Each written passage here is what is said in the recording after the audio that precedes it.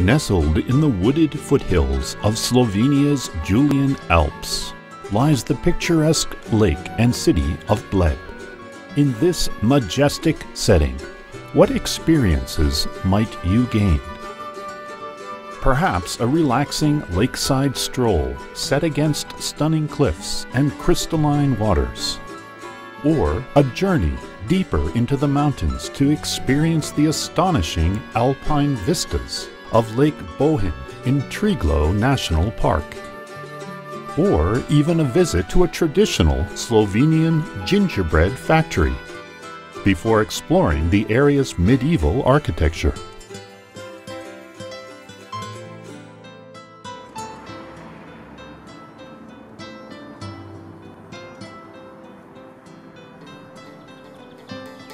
High on a limestone precipice overlooking the lake stands Bled Castle.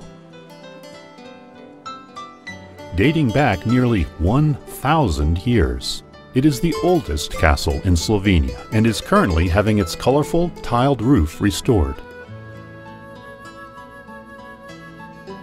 In the middle of the lake rests Bled Island, where 99 steps lead up from the water's edge to the Assumption of Mary Pilgrimage Church. A wedding custom at this church is for the young husband to carry his new bride all the way up the steps to the church, all 99 steps.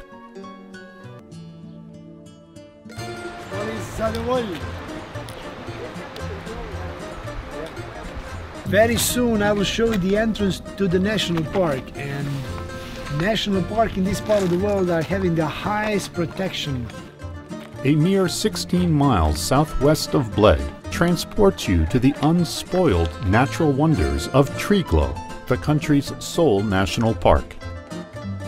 The park contains the mountain-fed waters of Slovenia's largest freshwater lake, Bohinj, Which Alps are these? Remind me, please. Julian. Julian Alps, that's right. Okay.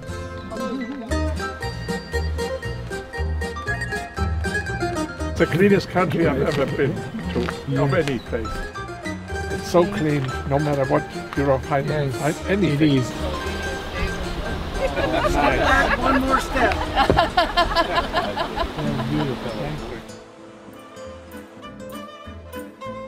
The region is known for its traditional Slovenian pastries.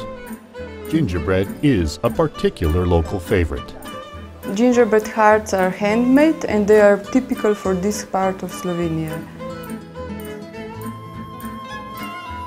I like to see travelers satisfied because they can observe me how I'm preparing those gingerbread hearts. Here they can learn that gingerbread hearts are not only for kids, but young men buy it for their ladies to express their feelings. I'm Jože Andrejaš and I am the owner of famous Lectar House. What makes Slovenian cuisine unique? All ingredients come from countryside, local products. And we also preparing everything in our house for you.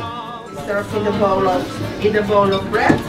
Uh, enjoy, and don't forget to eat the place as well.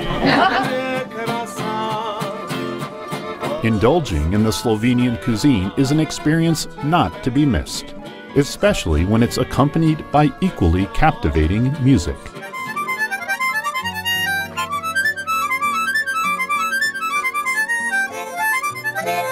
I like to see empty plates on the tables and big smiles on their faces.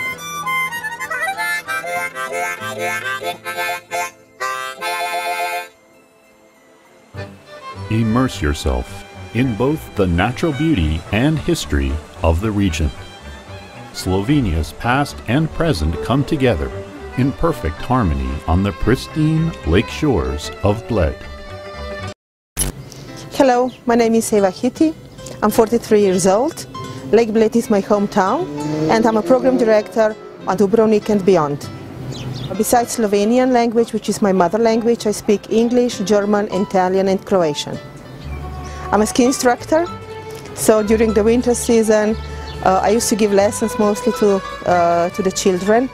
Otherwise, I'm very creative. I create jewelry, uh, I can knit, I can do crochet, so these kind of things. Let's go for a walk. Okay. My goal is that only the happy guests will return back. So that's why I say to all of them, enjoy life, be as you are. Slovenia is still, I think so, a hidden gem. There is a huge surprise when they come to Lake Bled, especially in a day like this. The magic is how our language and how our culture survived. En lep pa dober del naredili. We were not allowed to speak Slovenian language. For the first time when we were able to speak Slovenian language was just a short period at the beginning of the 19th century when Napoleon Bonaparte established the Illyrian provinces. Bled was always top of the top. Even in the period of the Austro-Hungarian Empire, some crowned heads were visiting Lake Bled.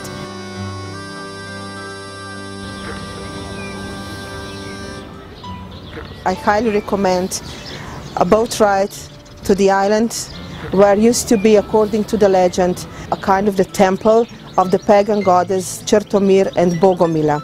And also maybe a visit of a castle and definitely walk around the lake. It's a pleasant walk. Maybe you can even stop at the President Tito's ex-residence for a cup of coffee and a cream cake. If you love to work, if you love being with people, you cannot compare with nothing else in the world. I love this job.